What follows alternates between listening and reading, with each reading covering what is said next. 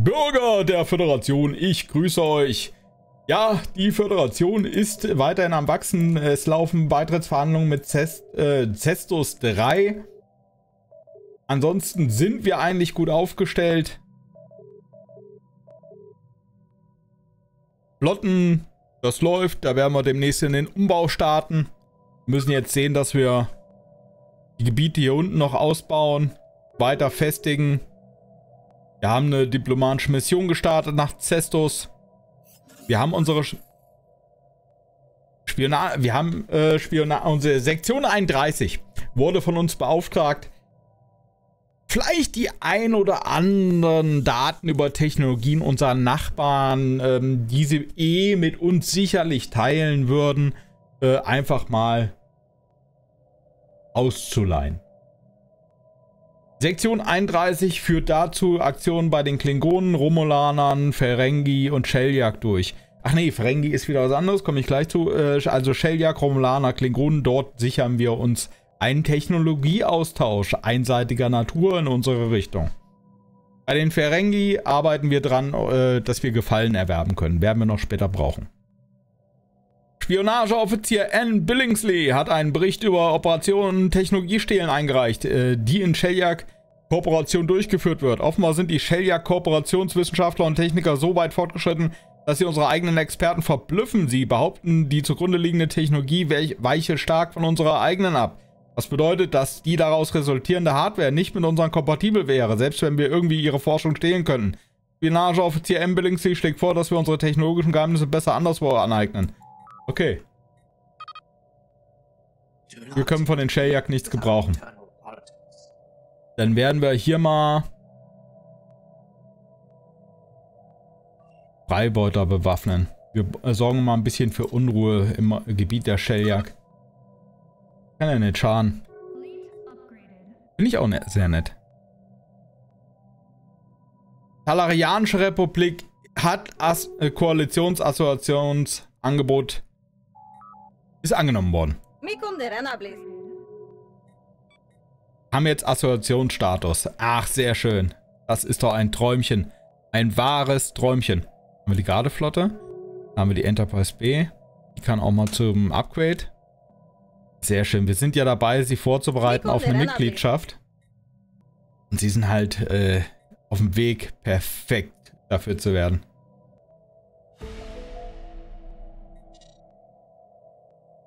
Hätte ich halt gerne in der Föderation. Und wenn wir hier Cestus 3 haben, dann haben wir auch hier diese Lücke geschlossen. Ich hätte gern die äh, freien Iridianer noch drin und die Regilianer. Ich hier diese Ecke irgendwann mal in die Föderation holen könnte, wäre das super. Ach, Zulu, sehr schön. Hat auf Cestus 3 eine hervorragende Leistung abgeliefert. Alles super. Alles bestens. Dann kannst du jetzt zu deiner Station Hellon 3. Sieht alles super aus.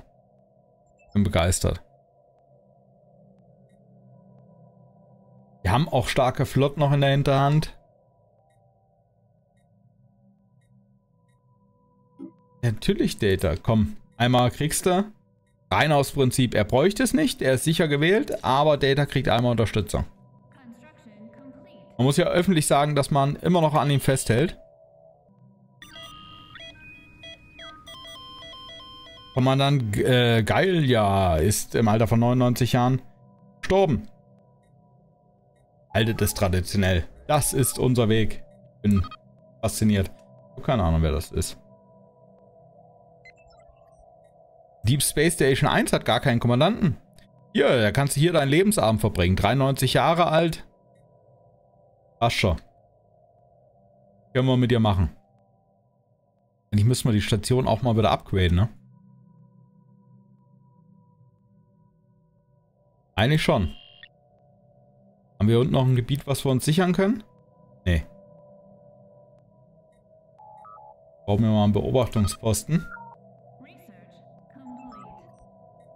Ach, Transportflotte 6, die gibt's ja auch noch. Habe ich ja komplett vergessen. Und dann gucken wir mal. Wen haben wir denn ganz junges? Lorit, abrennen. Hau rein. Das ist so ein Posten, die werden wir wahrscheinlich äh, nie. Der wird wahrscheinlich keinen Kampfeinsatz mitmachen. Aber hey, was wir haben, haben wir. Sag ich mal so. Hier bauen wir die ganzen Stationen aus. Regenerative Schilde 5 haben wir entwickelt. Ah. Komm, nehmen wir mal kybernetisch. Wir nehmen mal kybernetisch. Normalerweise möchte ich sagen, komm, wir greifen mal die Romulaner an und befreien ihre Untertanen.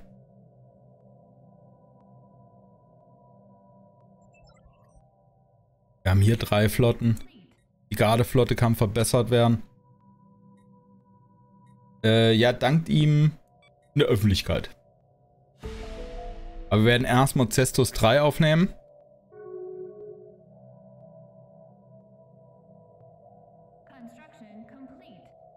Ach, sehr schön.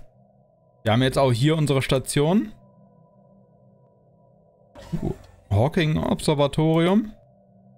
Detektionsphalanx. Äh, Defensivkanonen. Nahrungsproduktion brauche ich nicht. Äh, ja, komm.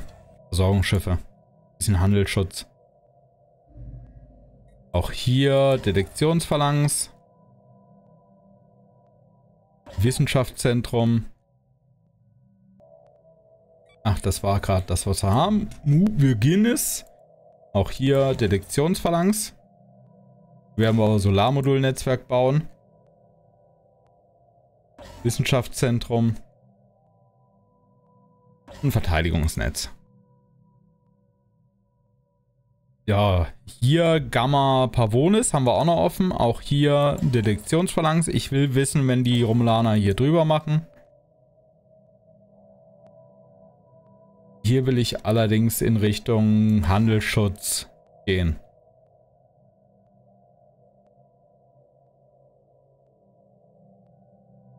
Haben wir noch Verkehrsregelung. So. Haben wir das haben wir hier oben die Station, äh, hier nämlich so eine Art Verteidigungsreihe aufgebaut, die zumindest orten kann, wenn von den Romulanern was kommt. Und so, wo so Minimalschutz ist, um Zeit zu geben, dass wir Flotten ranführen können.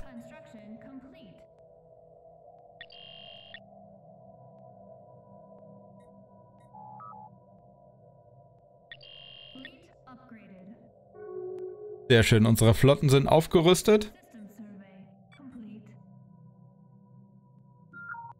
Ja, es geht voran. Komm, wir schicken mal Di mehr Diplomaten rein. Es muss sein. Äh, Tradition verfügbar. Erlassfonds plus 100, Vertrauensobergrenze plus 25. Äh Eisgröße von Bewohnern. Uh, also Erlassfonds erstmal und dann Reichsgröße vom Bewohner minus 10%. Kann nicht schaden. Kann nicht schaden.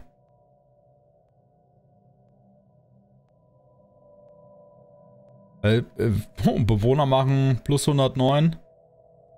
Das ist schon beachtlich. Kann alles nur vom Vorteil sein.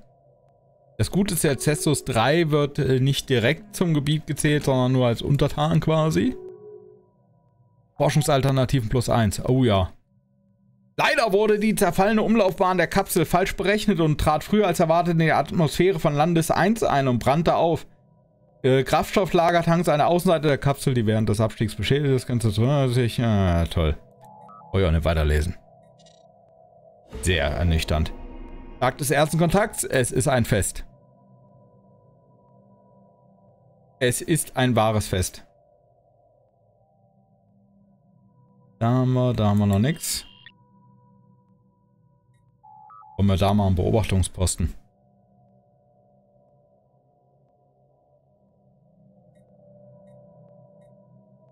Ja. Was machen wir denn mal? Was können wir denn mal machen? Verbessert mal die Beziehung zu... Adasianische Union. Müssen aus dem ewigen... Ja, sehr enttäuschend.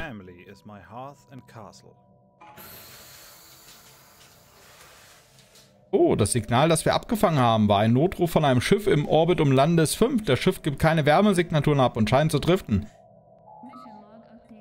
Gleich mal raus, das ist ein Spezialprojekt. Ach, das war ein Versuch. Wir haben einen Versuch gemacht.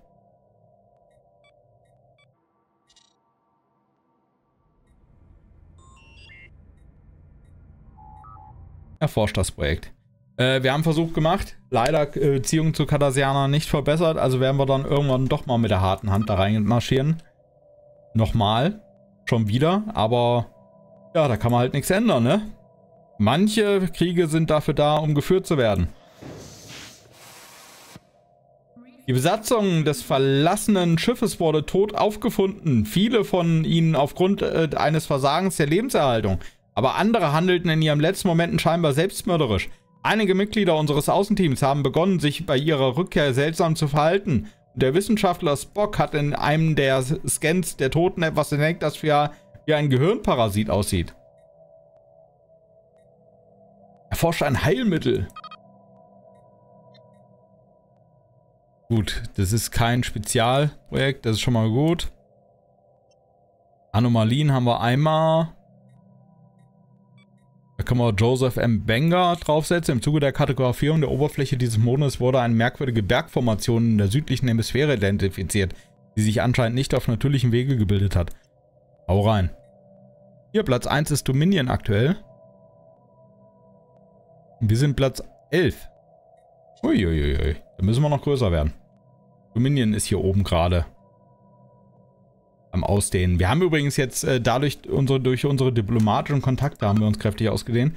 Deswegen ist es auch wichtig. Trotz des Wahnsinns auf dem ganzen Schiff gelang es dem Wissenschaftler Spock, ein Heilmittel zu synthetisieren und es im gesamten Ventilationssystem des Schiffes zu verteilen. Nachdem der Notfall vorbei ist, hat das Außenteam vorgeschlagen, dass die unbeschädigten Sensorprotokolle des Wracks verwendet werden könnten, um seine Herkunft zu verfolgen. Hervorragend. Ähm, deswegen auch der Kontakt zu den äh, Ferengi, ich würde die halt schon gerne irgendwann mal... Ja, natürlich Migration. Wir hatten noch kein Migrationsabkommen. Könnte das passieren? Wie konnte das passieren? So, wir bringen euch jetzt in Position. Und wir wollen hier auf Romulus gehen. Das heißt, wir werden euch hier platzieren.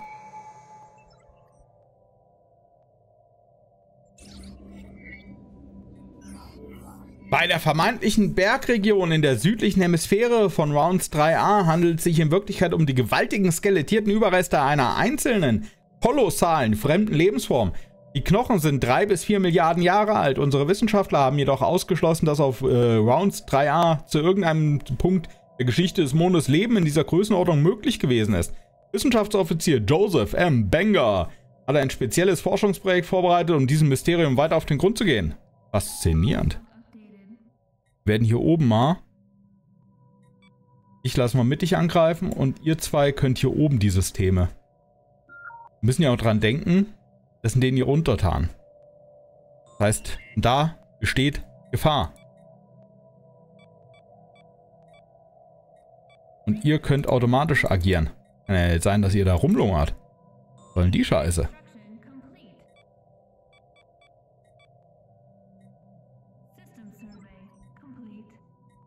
Kann ja nicht wahr sein. Du kriegst ein Upgrade. Wir werden für hier oben auch noch eine Grenzflotte bauen. Äh, neue Shuttle werden wir bauen. Ja, damit das hier schneller geht, bin ich hier bei Einfluss im Minus. Da müssen wir mal gucken, ob wir das dauerhaft machen. Wir lassen nochmal die Flöte erklingen. Flöte ein.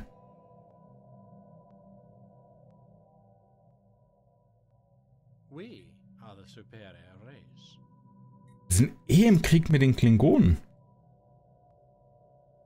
Der perfekte Zeitpunkt.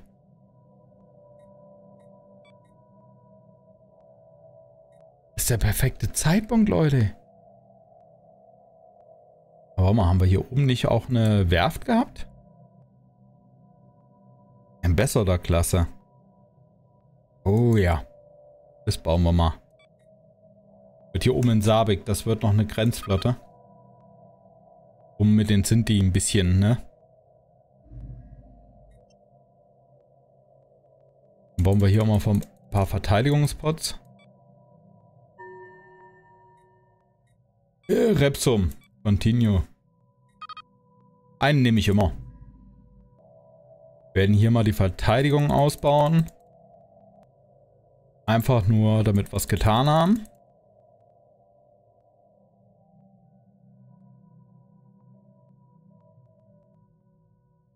Hier natürlich, das ist, das System ist eh unser Brecher.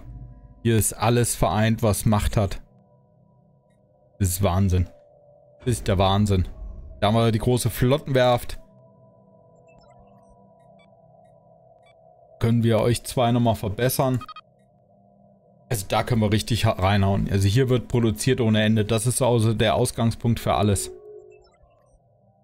Ja, die Gardeflotte muss da nur hochkommen.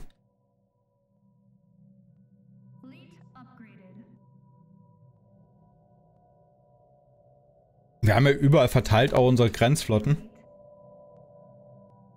Ja komm, wir gehen mal auf die äh, Sorgen ein. Wir gehen auf Pause und fahren das jetzt hier runter, weil wir jetzt hier oben ein bisschen im Limit sind. Ja, Shuttle ist jetzt äh, raus. Wir haben die neuen Shuttle-Typen. Jetzt erhöhen wir mal die, haben die Sternbasenkapazität. Erstmal gucken. Uh, Shuttle hängen wir halt weit zurück.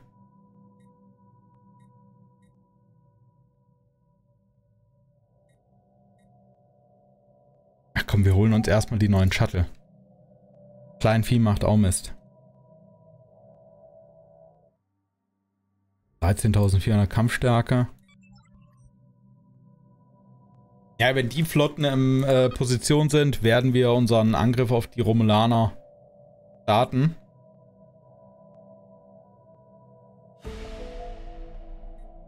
James T. Kirk, natürlich Flottenadmiral.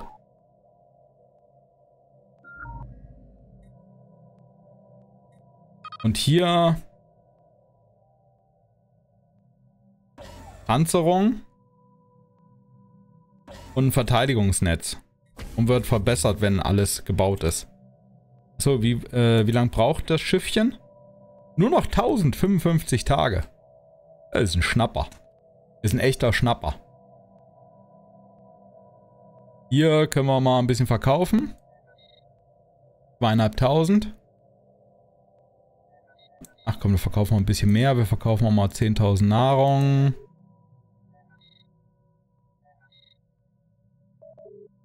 Wir kaufen Legierungen. Ja, das sieht doch gut aus. Das sieht gut aus.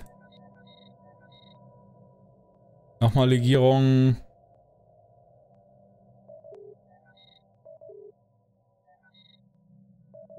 Jetzt hier nochmal verkaufen. So, sehr schön. Dann stehen wir bei allem ganz gut da. Haben wir auch Legierungsvorrat. Ach, zwei Forschungsschiffe wieder. Ja, wir haben kaum was, was wir erforschen können.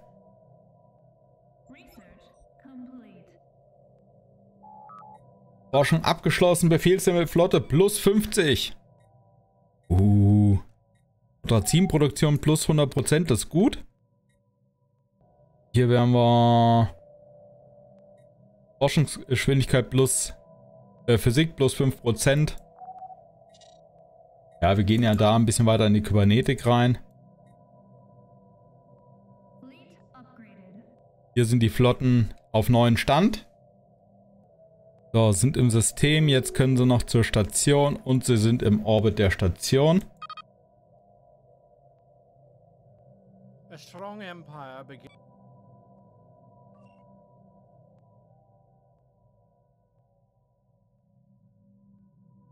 Hm. Führt Krieg, um jene Untertanen von ihrem derzeitigen Lehnsherrn zu befreien, die uns, ihre Treu äh, die uns die Treue geschworen haben. Unsere Verbündeten haben 32 Ansprüche, die wir vom Gegner und dessen Verbündeten zu erobern. Oh, ja.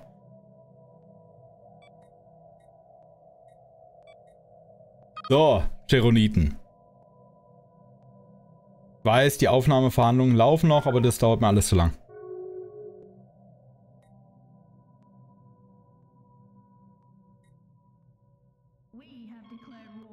Sehr schön, wir sind im Krieg. Äh, wir müssen das auch nutzen. Die Klingonen sind im Krieg mit ihnen. Wir sind jetzt im Krieg mit ihnen. Das muss genutzt werden. Bolarus, Attacke. Grenzflotte, Gardeflotte, Angriff. Hier haben wir zwei Flotten. Angriff. Ach, ein Traum wird wahr. Ein Traum wird wahr. Hier haben wir noch eine Flotte, die kann mit angreifen.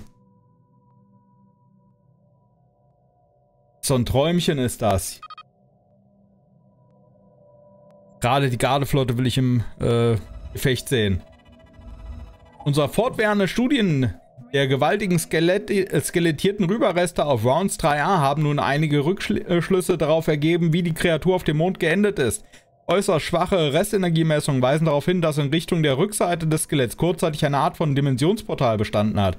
Wissenschaftler Joseph M. Benger hat die Theorie aufgestellt, dass die Kreatur dieses Portal aus, eigener, aus einer anderen Dimension durchquerte, nur um in der feindlichen Umgebung von Rounds 3a ein schnelles Ende zu finden. Warum sie das tat und woher sie kam, das sind Fragen, auf die man wohl nie eine Antwort finden wird. Erstaunlich.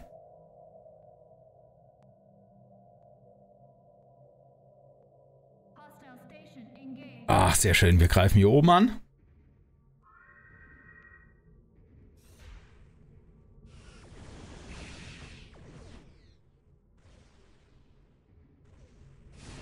Und... Ja, das ist sicher.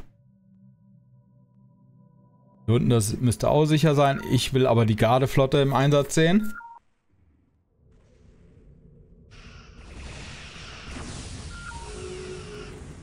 Sehr schön.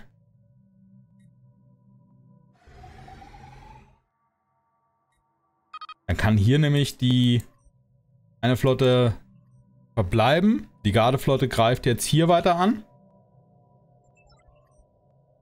Hier zwei haben Bolarus.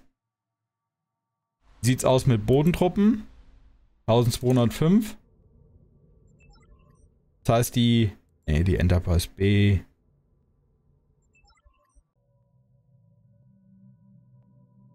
Ach, komm. Haben wir die zweite Föderationsflotte.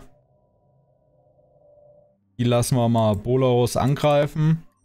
Die Enterprise B und die Föderationsflotte. Ja, komm, schicken wir nach Gamma, Tuka, ja, ne? Genau. Dass wir da ein bisschen angreifen. Hier können wir eigentlich die Grenzflotte hier Defron angreifen lassen. Das System haben wir. Die Grenzflotte nehmen wir raus. Hier greift hier an.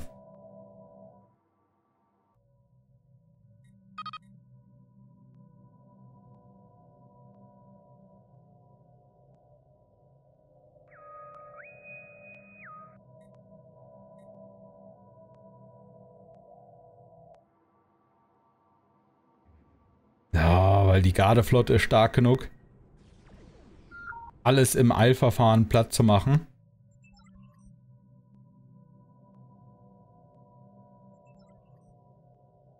Ich will mir eine, wie eine Fräse da reingehen.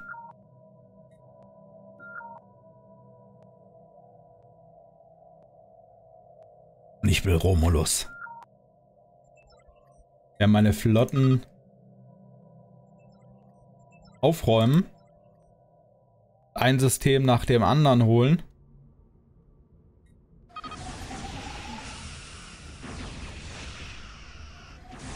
Verluste ist nicht dramatisch. Das kann immer mal vorkommen. Wichtig ist, dass wir danach mit modernen Schiffen auffüllen. Können wir mal gucken. Wir haben hier die fünfte Grenzflotte.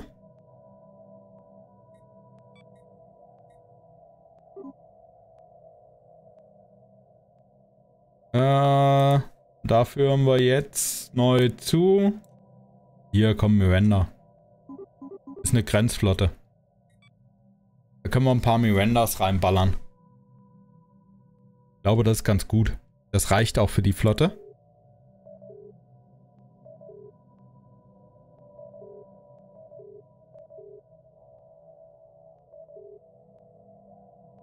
Hier haben wir zweimal Constitution drin. Die sind aber nur in der rückwärtigen Raum eingesetzt. Wir nutzen halt den Krieg äh, quasi zum Upgrade unserer Flotten. Jetzt könnt ihr zwei hier angreifen. Sieht's bei dir aus? Oh.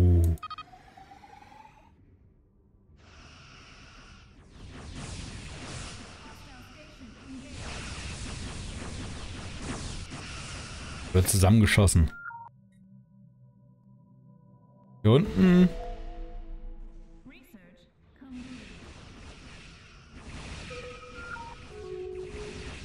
Ja, das sieht gut aus.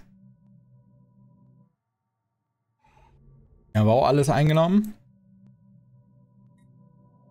Ja, Verluste, damit ist zu rechnen.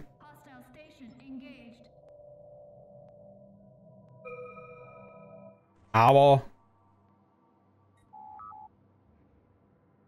es ist alles okay. Äh, expandiert die diplomatische Reichweite.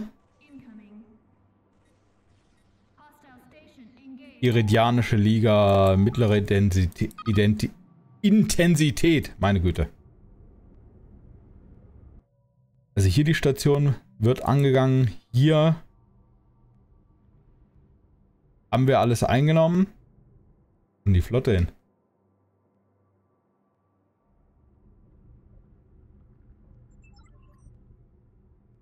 Ach da. Mein Gott, da, wenn man es nicht, ne? Manchmal muss man es echt auf dem Auge haben. So, da bombardieren wir da nämlich. Hier müssen wir mal... Äh, jetzt müssen wir nochmal durchgucken. Flottenverwaltung, wir haben ja genug. Wollen wir... Ach, jetzt habe ich mich... Hier, da wollte ich hinklicken. Bitte...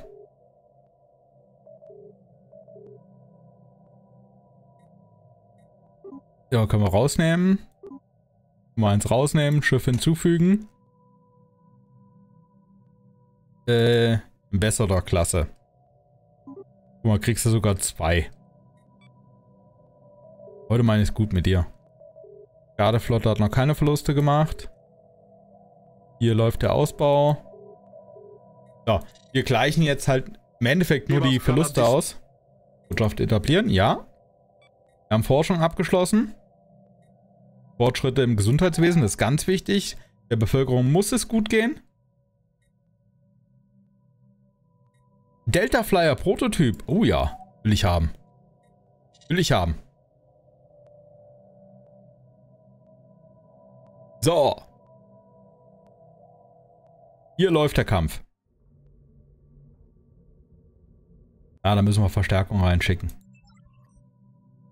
Sobald ihr fertig seid. Nee, ziehen wir zurück. Das war mit der einen kleinen Grenzflotte unten anzugreifen, das war ein bisschen übermütig. Die ziehen wir zurück.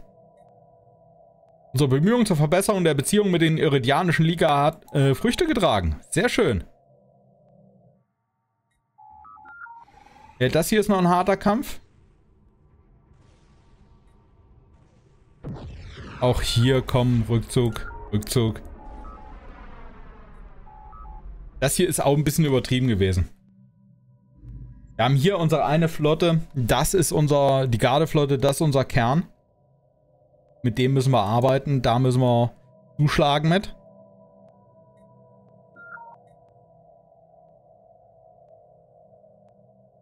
Ich will hier Bolarus haben. Wie sieht's aus? Truppenstärke 660. Wir können bald unsere Landungstruppen dort unterbringen.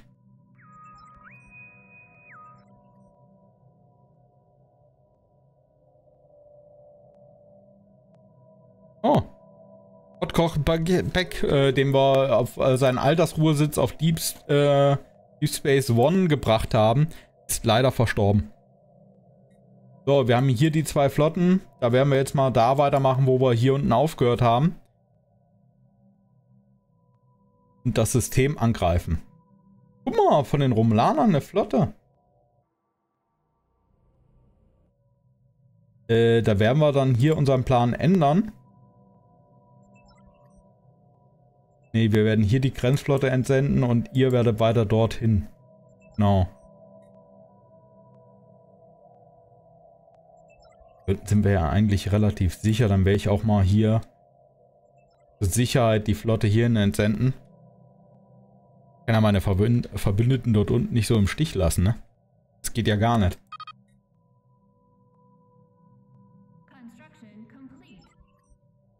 Die Flotte, die ist halt auch zu nichts groß äh, aktuell zu gebrauchen. Die ist mehr Defensive.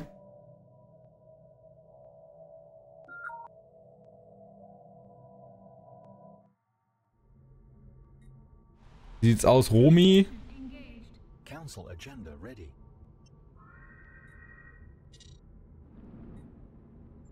Sehr schön. Dann können wir endlich Romulus äh, angreifen. Pause.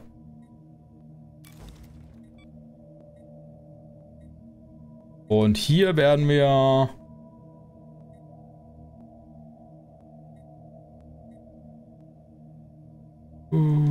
Ich entwickle eine Gesellschaft. Hier, damit erhöhen wir die Einigkeit. Und wie der Angriff auf Romulus ausgeht, das seht ihr in der nächsten Folge. Ich sage vielen Dank fürs Zusehen. Lebt lang und im Frieden. Und, ja, seid gute Burger. Haut rein.